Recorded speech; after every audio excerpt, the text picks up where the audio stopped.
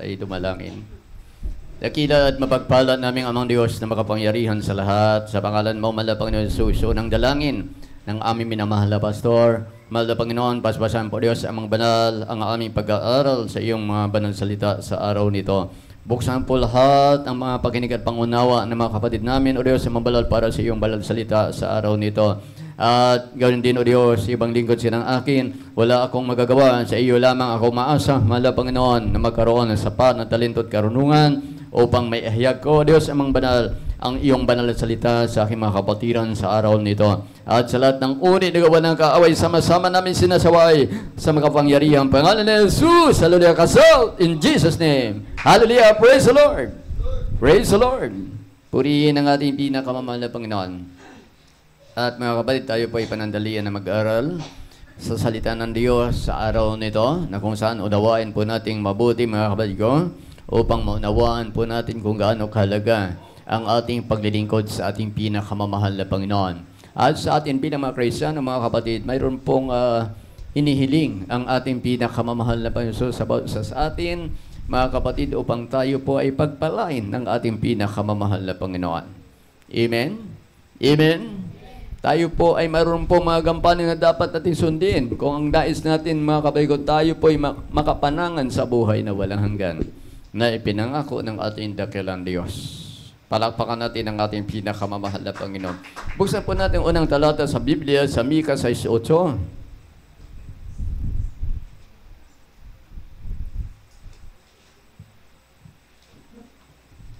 Dito po, dito po sa aklat ng Mikas, Kabanata 6, ang talatay 8. Kanyang ipinaki, pinakilala sa iyo, o tao, kung ano ang mabuti at ano ang hinihingi ng Panginoon sa iyo kundi gumawa na may kaganapan at ibigin ang kaawaan at lumakad na may kababaan na kasama ng inyong, ng iyong Diyos. Amen. Palakpakan po natin ang ating pinakamamahal na Panginoon. Yan po ang nais ng ating pinakamamahal na Panginoon, mga kapatid. Habang tayo po ay narito na tayo po ay lumakad na may kababaan na kasama ang ating pinakamamahal na Panginoon. Purihin ang ating daklang Diyos. At uh, mga minmahal, talaga pong tayo po bilang mga Kristiyano ay maroon pong uh, dapat unahing isagawa mga kapatid na ang pagpakababa sa harapan ng ating pinakamamahal na Panginoon ay tanda ng pagpapala mula sa Diyos. Amen. Amen. Kasi pag tayo po ay nagpakababa at sumusunod po tayo sa kalooban ng ating pinakamamahal na Panginoon, mga kapatid, ang pangako ng Diyos tayo po ay itataas ng ating pinakamamahal na Panginoon. Palapakan po natin ang ating dakilang Diyos. Medyo mahina yung ating monitor. Mahirap magsalita dito sa harapan. Wala naman tayong bayad sa kuryente dito, di ba? Libre. Purihin ang ating pinakamamahal na Panginoon. E ang sabi ng Biblia sa Mikas, gumawa na may kaganapan at lumakad na may kababaan sa harapan ng ating pinakamamahal na Panginoon. Kaya tayo mga kapatid, hindi na gaya ng dati ang ating ayos mga kapatid. Tayo po ay meron pong tinatawag na spiritual na pagpipigil sa ating mga sarili. Dahil pag hindi tayo marunong magpigil sa ating mga sarili, tayo po ay masisira at maliligaw ang ating paglilingkod sa ating pinakamamahal na Panginoon. Kaya dito, hindi na uso dito ang tinatawag na pride. Amen. Uso dito mga kabaygo, yung pagpakababa sa harapan ng Diyos upang mahabag at maawa ang ating pinakamamahal na Panginoon upang magkaroon ng katugunan ang ating mga panalangin sa ating pinakamamahal na Panginoon. Pumalakpak tayo ng balakas sa ating dakilang Diyos na buhay. Amen. Purihin ang ating dakilang Diyos na buhay. Kaya, hindi na dati kung anong uri ng ating pagkatao nung araw na tayo ay wala pang pananampalataya, mga kapatid, ngayon, tayo po ay nasa kapangyarihan na ng ating pinakamamahal na Panginoon. Amen. Magmula na tayo na bautismuhan, magmula na tayo tumanggap sa ating mahal Panginoon, ibinihis natin si Kristo. Si Kristo na ang dapat masunod at hindi ang sarili nating kaparaanan sa buhay ang dapat masunod, kundi ang ating pinakamamahal na Panginoon, maging, maging maayos at gumanda ang direksyon ng ating mga buhay. Amen? Kaya, Napakalaki ang kinalaman mga kapatid ko sa mga pagpapalang na hinihintay natin mga kapatid ko na tayo po ay susunod sa kalooban ng Diyos na magpakababa sa harapan ng ating pinakamamahal na Panginoon at kung ano ang mga alituntunin ng ating Diyos Diyos mga kapatid tayo po ay sunod ng sunod lamang. Amen. Amen. Walang kamalian mga kapatid kung tayo po ay susunod sa kalooban ng Diyos ang pagpapala ay naghihintay sa bawat isa sa atin. Palakpakan po natin na malakas ang ating pinakamamahal na Panginoon. Bakit nga ba pinagpapala ang mga maraming mga Kristiyano, mga kabago? Dahil hindi sila tumatanggi sa utos ng ating pinakamamahal na Panginoon. Ginagawa po nila sa abot at uh, ng kailang mga ginagawa mga kapatid ko na sila po ay talagang uh, sincero na sumusunod sa kaluban ng ating dakilang Diyos kaya naman sila ay pinagpapala. Na dati-dati napakahirap ng buhay, walang-wala mga kapatid. So balit nung sila po ay tumalim at sumunod sa utos ng Diyos mga kapatid ko, sila po ay nagbibilang na na napakaraming mga pagpapala mula sa ating pinakamamahal na Panginoon. Amen? Amen. Kaya ang sabi ng Biblia, wala po tayong magagawa kung tayo'y hiwalay sa kalooban ng ating pinakamamahal na Panginoon. Manatili ang ating kahirapan, manatili yung ating uh, ka kahikahos sa buhay mga kabago hanggat hindi po natin sinusunod yung tamang paglilingkod sa ating pinakamamahal na Panginoon. Palakpakan po natin na malakas ang ating dakilang Diyos. Anong kasunod na talata mga kapatid? Ang, ang latad na may pagtatapat ay nagtataglay ng pagpapala mula sa ating pinakamamahal na Panginoon. Amen? Yung lakad na pagtatapat. Ang nais ng ating malabang para tayo po ipagpalain. Yung tapat tayo sa lahat ng bagay. Tapat sa kabanalan, sa pagbibigay sa lahat ng bagay sa alituntunin ng ating pinakamamahal na Panginoon. Nais ng Diyos yung ating katapatan. Amen? Amen? Ang nihiling ng ating pinakamamahal na Panginoon, yung ating katapatan. Na hanggat maari, mga kapatid, wala po tayong pipiliin sa mga utos ng Diyos. Amen. Kaya ang sabi ng Biblia, uh, sa siyam o sampung porsyento, uh, nagawa mo yung siyam, at yung isa hindi mo pwedeng gawin, ayaw mong gawin, bali wala yung siyam na porsyento na ginawa mo. Amen. Wala palang kwenta yon. Kinakailangan gawin mo lahat kung anong nais ng Diyos para 100% rin ang pagpapalang darating sa iyo. Para 100% ang mga biyayang darating sa iyo, yung mga pangako ng ating daklang Diyos na masaganang pagpapala. Palakpakan po natin na malakas ang ating pinakamamahal na Panginoon. Lagi nating isipin mga kapatid, nasa ating paglilingkod sa Diyos mga kapatid, Diyos ang ating pinaglilingkuran. Diyos ang ating sinusunod. Diyos ang nagbibigay ng papapala sa bawat isa sa atin. Amen? Kaya kung minsan sa ating paglilingkod sa ating pinakamamahal na Panginoon, kung minsan tayo ng hina, minsan tayo ng lulupaypay, mga kapatid, yan po ay gawa ng Diablo, gawa ng kaaway para distrakin yung ating paglilingkod sa ating pinakamamahal na Panginoon. Amen? Amen? Kaya naglagay ng mga katitisuran sa ating harapan ng ating malapag noon para tayo subukin kung talagang sincero tayo at kung tayo itutong lingkod ng Diyos, hindi basta-basta tayong matinag. Amen? Mga katitisuran, mga pagsubok, mga sakit, mga karamdaman, yan ay gawa ng Diablo. Amen? Para subukin po tayo. Pero pag tayo matatag, at nakikita ng Diyos na tabi hindi nang hina, hindi nang lulupaypay. Yun ang naturingan na tunay na lingkod ng Diyos. Kaya yung mga pagsubok na yan, yung mga sakit na yan, mga karamdaman na yan, walang kwenta yan. Mawawala yan kung tayo susunod lamang ng 100% sa kalooban ng ating pinakamamahal na Panginoon. Dahil ang ating dakilang Diyos ay sagana sa lahat ng bagay. Sagana sa kagandahang loob, mga kapatid. Siya po ang mag-aalis sa ating mga problema, siya ang magpapagaling sa ating mga karamdaman, at siya rin ang magbibigay ng masganang kapayapaan sa bawat isa sa atin. Amen. Kaya, sabi ng Bible, huwag mo nang problemahin yung problema ng hindi mo kaya. Amen. Ibigay mo sa ating mahal Panginoon yan siya maglutas. Yung mga problema na kaya mo lang dalhin, yun ang iyo. Amen? Amen? Katulad sa mga sakit. Yung mga, mabibigat na karamdaman, halimbawa may sakit ka sa puso, hindi na kaya ang pagalingin ng doktor, mga kamay ko. Pero ang Diyos, kayang-kayang lunasan yan. Amen? Kasi walang imposible sa ating mahal na Panginoon. Kahit anong klaseng karamdaman yan, maging cancer, kahit may taning ng iyong buhay, kayang-kayang baguhin yan ng ating dakilang Diyos. Amen? Sa Biblia, ha? Mamamatay na sa Biblia, hinatulan na ng kamatayan. Ngunit dahil sa pagsusumamo ni Ikisiyas sa Biblia, sa kanyang pagsusumamo mga kapatid, nabago ang pasya ng ating mahal Panginoon. Bakit? Nahabag sa Kanya. Nakita yung Kanyang pagpakababa sa harapan ng Diyos. Nakita na Diyos yung Kanyang pagsisisi, yung Kanyang pag-iyak na grabe sa ating pinakamamahal na Panginoon. Matuwid na tao yun ha, hindi nagkakasala. Sila po ay sakdal. Pero bakit sila nagkaroon ng karamdaman? para sila'y subukin ng ating mahal Panginoon. Kaya sa atin, walang pinagkakaiba. Kung anong kalagayan, mga unang mga Kristiyano, mga kapatid, hanggang sa ngayon, ganun pa rin ang kalagayan ng mga Kristiyano. Hindi nagbabago mga kapatid. Kaya sa atin, huwag natin sabihin, malakas po tayo, bukas makalawa, hindi po natin alam ang ating buhay. Amen. Kaya ang mahalaga at importante habang tayo po ay mayroon pong pagkakataon, habang tayo po'y may oras, mga kapatid ko, kinakailangan mong sundin ng ating mahal na Panginoon. Kailang paglingkuran si Iso Kristo ha? bilang Diyos at Hari ng ating mga buhay. Dahil siya lamang ang tunay na kapayapaan, siya lamang ang totoong kapayapaan sa buhay, siya la, sa Kanya lamang manggagaling ang lahat ng mga pagpapala. Depende sa ating pagtalima, mga kapatid.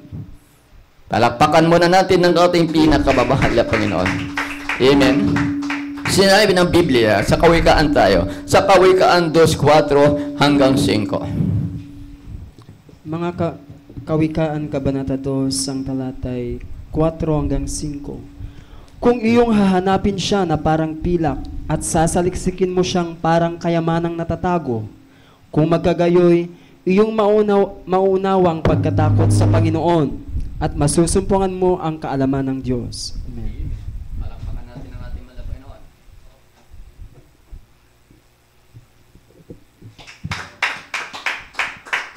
Yung mga kaalaman pala mga kapatid, ah, sa Diyos natin masumpungan, kung lagi nating babasahin ang Biblia, nasa loob ng banal na kasulatan nakatago ang karunungan para masunod natin ang kalooban ng ating pinakamamahal na Panginoon. Kaya sa bawat isa sa atin mga kapatid, kinakailangan may Bible, kinakailangan may Biblia, at kinakailangan yung Biblia na yan ay lagi nating basahin para makita po natin at malaman po natin ang karunungan na mula sa ating pinakamamahal na Panginoon. Para tayo maging bihasa sa pagtalima, sa pagsunod sa utos ng ating pinakamamahal na Panginoon.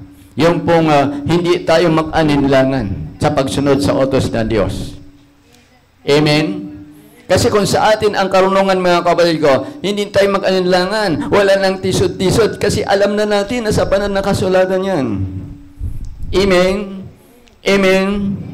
Purihin ng ating pinakamamahal na Panginoon. Ang sabi doon, kung iyong hahanapin siya na parang pilak at saliksikin mo siyang parang kayamanang natatago, kung magkagayoy iyong maunawa ang pagkat ang pagkatakot sa Panginoon at masusumpungan mo ang kaalaman ng Diyos. Amen? Kaya ang Biblia, ito'y mahalaga sa isang Kristiyano. Amen? Ito ang ating puhunan. Dito nakapaloob sa banal na kasulatan ang pagpapala. Kung atin pong unawain ang mga salita ng Diyos na nakapaloob sa banal na kasulatan. Amen? Hindi dahil mayroon po tayong banal kasulatan, okay na. Kaya tayo may Biblia para doon po natin makita at masumpungan ang kaalaman mula sa Diyos. At kapag mayroon po tayong kaalaman mula sa ating pinakamamahal na Panginoon, alam na natin kung anong dapat ating gawin bilang mga tunay na mga lingkod ng Diyos. Amen? Amen? Kaya ang Biblia, ito po hindi ito dekorasyon, kundi ito ay sandata na isang tunay na Kristiyano. Ito ang ating kayamanan. ang banal na kasulatan. Ang salita ng Diyos ay nakapaloob sa Biblia. At kung ating salisiking mainam mga kapatid, dito natin makita at malalaman ang mga pagpapala mula sa Diyos na buhay. Amen. Palakpakan po natin na malakas ang ating pinakamamahal na Panginoon. Kasunod na talata sa Josue 1.8. Dito sa Josue Kabanata 1 ang talatay 8. Ang aklat na ito ng kautusan ay huwag mahihiwalay sa iyong bibig, kundi iyong pagbubulayan araw at gabi, upang iyong masunod na gawin ang ayon sa lahat na nakasulat dito, sapagkat kung magkagayoy, iyong pagiginhawahin ang iyong lakad, at kung magkagayoy, magtatamo ka ng mabuting kawakasan. Palakpakan po natin ng ating pinakamamahal na Panginoon. Kung ating pakinggan mga kapatid, napakasimpleng bagay lamang ito. Pero kung ating unawain mga kapatid, dito mag-umpisa at dito magsimula ang karunungan sa Biblia. Amen? Dito mag-umpisa ang pagpapala. Dito magsimula ang masaya ng buhay na ipinangako ng ating pinakamamahal na Panginoon. Yan sabi niya, ang aklat na ito ng kautusan ay huwag mahihiwalay sa iyong bibig. Kundi iyong pagbulay-bulayan araw at gabi upang iyong masunod na gawin ang ayon sa lahat na nakasulat dito. Sapat kung magkakayoy, iyong pagginhawahin ang iyong lakad at kung magkakayoy, magtatamo ka ng mabuting kawakasan. Palakpakan po natin na malakas ang ating pinakamamahal na Panginoon. Dito pala nagsimula sa Biblia. Amen. Kaya kung ating papakinggan, simpleng bagay lamang. Pero kung ating unawain, mahalaga ito, mga kapatid. Dahil dito magsimula ang pagpapala mula sa Diyos na buhay. Kapag atin pong binabasa ang Biblia, lagi sinasaliksik po lagi natin ang banal na kasalatan. Dito mag-umpisa ang masika ng pagpapala mula sa Diyos na buhay. Amen! Palapakan po natin ng malakas ang ating pinakamamahal na Panginoon. Purihin ang ating dakilang Diyos. At kapag nasa atin ang karunungan, mga kapatid, maging ang kamatayan, hindi dapat ating katakutan yan. Kasi, mga kapatid, nasa atin ang kapangyarihan ng ating mahal Panginoon. Binigyan na tayo ng kapangyarihan ng ating dakilang Diyos para labanan natin ang masamang espiritu. Kasi ang lahat ng masamang pangyayari sa buhay ng tao, yan ay igawa ng Diablo. At kapag tayo ay nagkukulang sa ating pinakamamahal na Panginoon, sa pananampalataya, doon papasok ang gawa ng kaaway. Amen? Kaya hindi pwede tayong magkulang mga kabisikapin po natin hanggat maari makasunod po tayo sa tamang pamantayan sa lituntunin ng ating pinakamamahal na Panginoon para exempted tayo sa lahat ng problema, exempted tayo sa mga karamdaman, exempted tayo sa mga panganib na naghihintay. Amen. Kasi doon nag-umpisa na papasok ang gawa ng Diablo o ng kaaway kapag nagkulang po tayo sa panampalataya. Amen? Amen? Dahil sa ating kapatid, yung namatay, ha? Sino nag-akala na sa ibawian ng buhay? Yung manugang ni Ma'am uh, Mendoza, yung teacher. Ha? Malakas siya. Ngayong araw, malakas siya. Pero kinabukasan, patay. Sabi na, napakabait daw ito. Walang bisyo, hindi umiinom ng alak. Amen? Napakabait sa lahat ng tao. Bilang isang pulis, ang sabi niya, hanggat maari, ayaw niyang kalabitin ang gatilyo ng kanyang baril na nakaharap sa tao. Dahil may takot siya sa Diyos hanggat maari. Yun ang kanyang panalangin. Dahil sa panahon ngayon mga kabay ko, alam po niyo, mayroon pong order ang gobyerno, ang presidente. Ha? May mga pilit siya. Utusan, baril mo yan, patayin mo yan. Pero mali, mali yan. Kasi pag pinatay mo yung tao, hindi yan makapagsisisi. Amen? Kapag namatay ang tao hindi nakapagsisisi, siya'y makasalanan, saan ang puta noon? Ang impyerno. Ang dagat-dagat ang apoy. Pero ang panawagan sa atin mga kapatid, lahat ng tao masasama, kinakailangan ilapit sa Diyos. Dalhin po natin sa harapan ng ating pinakamamahal na Panginoon para sila'y makakilala sa Diyos upang magbago ang kanilang buhay. Kahit gaano man kasama yan, may natitira pang mabuti yan sa puso. Amen. Hindi talaga masama ang tao. Ang nagpasamay ang demonyo. Ang masamang espiritu, yun ang sumisira sa tao. Ngunit kung tayo po nasa kapangyarihan ng ating pinakamamahal na Panginoon, hindi magtatagumpay ang diablo, hindi magtatagumpay ang demonyo, yan po ay talunan lamang. Napakaraming masasamang taong napabilang po dito sa gawain ito na kinahabagan ng ating pinakamamahal na Panginoon. Kung ating kumpara sa ngayon, mga kapatid ko, mas matindi ang mga taong napabilang sa ating banal na gawain. Ito'y galing sa masamang gawain. Mamangatay tao. Amen. Nga walang pag-asa makapamuhay ng maayos at papayapa. Ngunit, dahil sa kahabagan ng ating pinakamamahal na Panginoon at dahil sa pagsisikap ng mga taong ginamit ng Diyos, ito sila, mga kapatid, sila po ay binago ng ating pinakamamahal na Panginoon. Yung buhay mga walang pag-asa, mga binigyan ng panibagong pag-asa ng ating pinakamamahal na Panginoon, naging tagapagmana sila ng langit at buhay na walang hanggan. Ay ano ngayon ang patakaran ng gobyerno? Ha? Yung mga drug addict, mag-order siya sa mga kapulisan, pati, patayin mo yan, barilin mo yan. Saan ang punta noon pag namatay? Ang impyerno. Amen? Impyerno. At yung, yung pumapatay naman, yung inuutosan, impyerno din pag napatay siya dahil sa Apocalypse. Kung ating babasa, Apocalypse 21, ha? 8, walang silang bahagi sa langit, kundi ang dagat-dagatang apoy. Yan ang kinatakutan ng mga nakaintindi sa Biblia.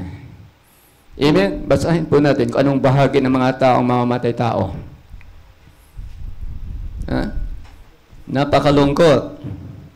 Kasi pag napunta na sa impyerno ang tao, wala na pag-asang siya ay magbago.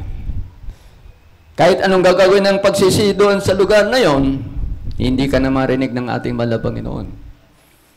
Pakinggan ka lang na Diyos kung habang may buhay ka, nagsisisi ka. Pero kapag patay na, yung, yung physical na katawan nito, yung iyong kaluwa, yun ang mahirapan sa apoy at asopre sa impyerno. Amen? Amen? Sabi na Apocalypse 21.8, ang sabi dito, kung ating sundan ang basa, Dito po sa aklat ng Apokalipsis, Kabanata 21, ang talatay 8. Ngunit sa mga duwag at sa mga hindi mananampalataya at sa mga kasuklam-suklam at sa mga mamamatay tao at sa mga mapakiapid at sa mga manggagaway at sa mga mapagsamba sa Diyos-Diyosan at sa lahat ng mga sinungaling ang kanilang bahagi ay sa dagat-dagatang nagdiningas sa apoy at asopre na siyang ikalawang kamatayan. Yan ang kailang kahinatnan. Yung mga mamamatay tao at yung mga masasama, walang ibang puntahan yan. Hanggat hindi sila nakakilala sa Diyos, hanggat hindi sila nakapagsisisi, ang impyerno naghihintay. Walang kaluguran ang Diyos sa mga taong namamatay na masama. Walang kasiyahan. Kaya yun puspusan ng ating pangaral sa ngayon hanggat maaari ang mga taong masasama mailapit sa Diyos para sila'y magbago. Para magbagong buhay. Kahit drug addict man yan mga kapatid ko, may pagbabago pa rin yan kapag sila'y makalapit sa Diyos at maglingkod sa ating pinakamamahal na Panginoon. Dito sa gawain, napakaraming mamamatay tao dito. Amen. Na binago ng ating pinakamamahal na Panginoon. Kaya kahit gaano man kasama ang tao, mga kapatid, sa oras na maunawaan niya ang Biblia, mga minmahal, magbabago yan. Kahit gaano kasama ang tao, may natitira pang mabuti yan sa puso niya. Ang tao ay hindi likas na masama. Ang nagpasama lamang sa tao ay ang demonyo, ang diablo, ang siyang, siyang nagpapasama sa tao. Amen. Pero kapag tayo na sa kapangyarihan ng ating pinakamamahal na Panginoon, bigtas na tayo doon. Wala nang kapangyarihan na tayo gumawa ng masama, kundi ang ating gagawin, ayun pong kalooban na ng ating pinakamamahal na Panginoon. Amen? Palakpakan po natin na malakas ang ating dakilang Diyos na buhay. At marahil mga kapatid, maunawaan po natin ang salita nito na tayo pong lahat ay magpakarunong sa salita ng Diyos, sa Biblia, para tayo pagpalain ng ating pinakamamahal na Panginoon. Tayo po'y umawit sa ating dakilang Diyos.